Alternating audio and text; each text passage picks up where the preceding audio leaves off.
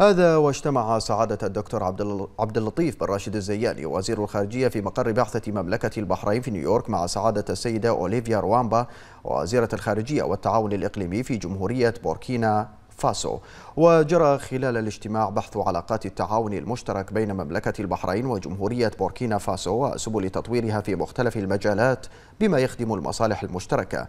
هذا إلى جانب مناقشة عدد من الموضوعات محل الاهتمام المشترك.